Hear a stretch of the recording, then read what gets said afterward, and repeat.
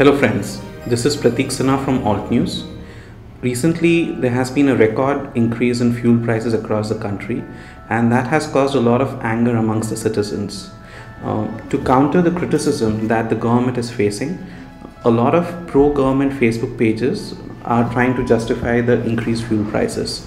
Uh, one of the narratives that is being put out, and it is essentially an attempt at whataboutery, is that there are about 11 crore Rohingya refugees in India. Why is nobody outraging about them while we are outraging about this meager increase in fuel prices? Now, this post has been put out by a page called I Support Namo. It is put out in Hindi and it has received over 20,000 shares uh, as we speak. There's another post which also claims that there are about 8 crore Bangladeshi and Rohingya refugees in India and nobody is outraging about it while everybody is outraging about the increased fuel prices. Now, what is the truth? Uh, are there 11 crore Rohingya refugees in India? Are there 8 crore Bangladeshi refugees in India? Now, to give you an estimate, the state of Maharashtra has a total population of 11 crores. So, that is how big 11 crores is.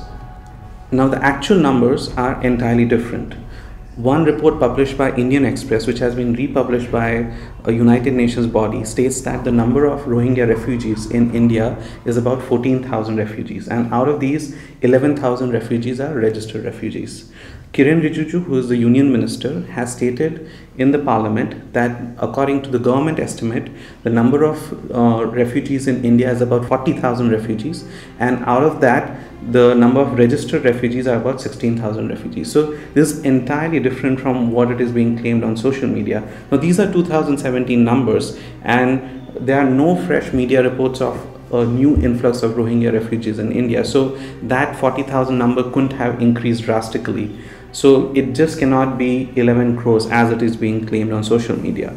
Now regarding the claim about Bangladeshi refugees, the the numbers are also entirely different and do not match the claim that are, that is being made on social media. The International Migration Report by United Nations states that the number of Bangladeshi refugees in India at this point in time is 3.1 million or 31 lakhs. In fact, this report also goes on to say that the total number of refugees in India is 5.2 million or 52 lakhs. So that is all refugees combined, whether it is Rohingya refugees, Bangladeshi refugees, all refugees combined, the total number is 52 lakhs. So all these social media claims about 11 crore refugees, 11 crore Rohingya refugees, and 8 crore Bangladeshi refugees.